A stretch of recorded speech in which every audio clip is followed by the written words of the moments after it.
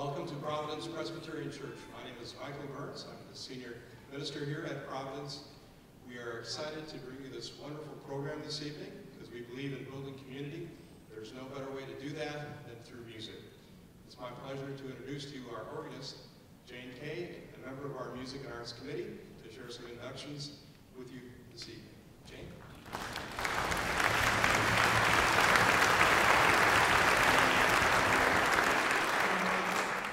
Hi there.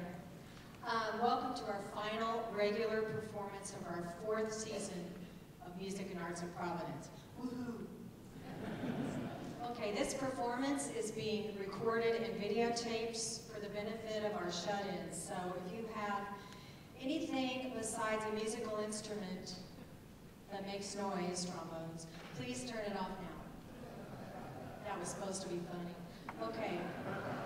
Um, in past seasons, Music and Arts at Providence has presented such masterworks as La Boheme and Il Trovatore, and with the use of our Providence musicians. But tonight, however, we are blessed to have singers from four other area churches, including Providence Presbyterian Church, as well as singers from the greater DC choral community.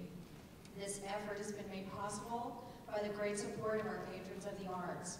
As you can see in your program, there's a wide range of giving opportunities, and every donation has helped and continues to help, and thank you for that. If you would like to become one of our patrons, check out the card and envelope in your playbill, and you will know what to do with it. Thank you. Um, there will be a bonus free concert added to our season on Sunday night, two weeks hence, June 27th at 7 p.m. in this very sanctuary. The Riverbend Opera Company will be presenting La Rondine by Puccini, starring our very own Linda Kiemel. And now, let's get to some housekeeping. At intermission, would you please allow the choir to exit first, and then um, we can throng out into the commons area, where there will be concessions offered, water and candy and stuff like that. And you all are all, uh, invited to uh, meet the artists reception because there are more one of us tonight. The fellowship hall across the commons area. Please come out and eat. Um, one more thing, hold your applause please until the end of intermission. That way the, the continuity won't be interrupted. We appreciate that. So, ladies and gentlemen, please help me in welcoming Maestro Terry Stoneberg.